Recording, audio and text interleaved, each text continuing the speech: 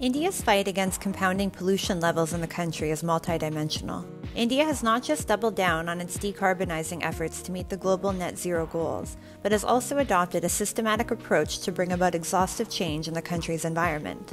An intensive cleaning of the river systems, especially the Ganges Basin that feeds the drinking and domestic use water needs of hundreds of millions of Indians, was identified as an area that called for immediate state attention. In the last eight years, hundreds of projects have begun aimed at decontamination, treating raw sewage flowing into water bodies, and to revive the flow of the stagnant water to improve quality and purity of these crucial water resources.